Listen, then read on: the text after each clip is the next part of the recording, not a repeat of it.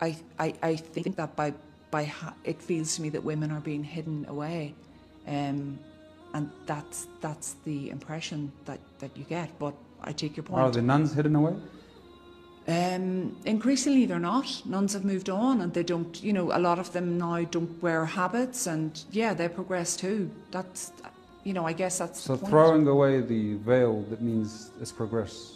Well, no, I mean maybe, maybe, maybe it is. Again, if, if by throwing away the veil you mean it's progress, then we're not progressing ever.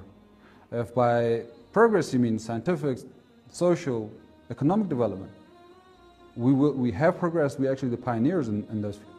I, I think, again, I, I don't want to labour this point, but I think throwing away the veil, it's not about progression, it's about choice. It's about having the choice to do something, and that does seem to be denied people here. Does the Western society give people the choice to walk around naked?